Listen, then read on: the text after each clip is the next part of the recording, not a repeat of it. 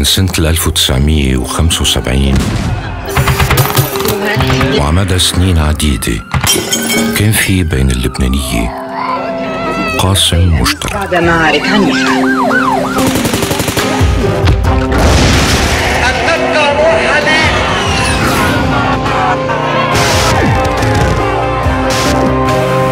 ما في إلنا اليوم غير الجيش اللبناني جامعنا